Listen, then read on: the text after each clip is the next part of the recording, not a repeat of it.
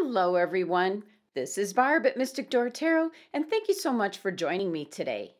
Please be sure to subscribe, hit that like button, and share your comments or questions. And if you're new to my channel, welcome. Now, for the month of March, I am working with the Hobbit Tarot deck. So here is your quick glance at the energy of the day for Thursday, March 4th, 2021. And today we have the Four of Wands.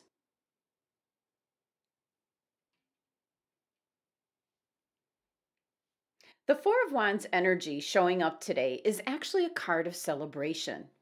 It could actually be possibly in the workplace today, celebrating a collective achievement made by the team, possibly on a particular project. So the influence from this card today is very lighthearted, very joyful. It's kind of one of just letting your guard down, just relaxing and celebrating. Now, for others, this card could be celebrating a special birthday, maybe a milestone birthday, or it could be an important anniversary. It can be some type of completion of some stage and kind of looking back at your accomplishments and reviewing thanking the people around you that helped get you to where you are. It's about looking forward now. And what new things would you like to manifest as you move into the future?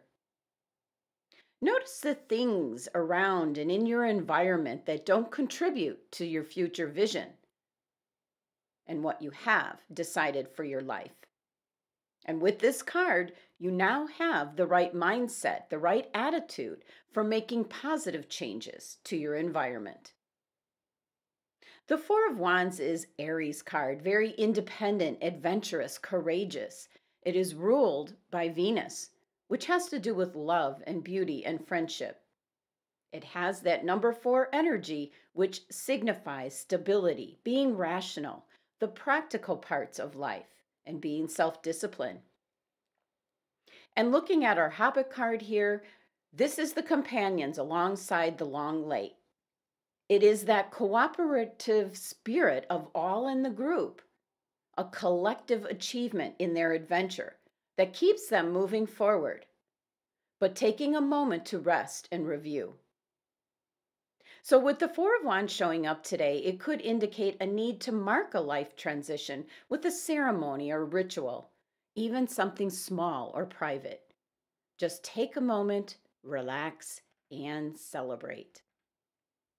Thank you so much for joining me today. Please be sure to subscribe and help support my channel. And for a private reading, click the website link below. Love and abundance. Until tomorrow.